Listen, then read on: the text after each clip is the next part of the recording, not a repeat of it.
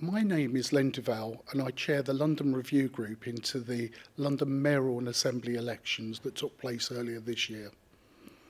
This afternoon we'll be hearing from the Electoral Commission, academics and think tanks about those elections and be considering with what recommendations we make for future elections.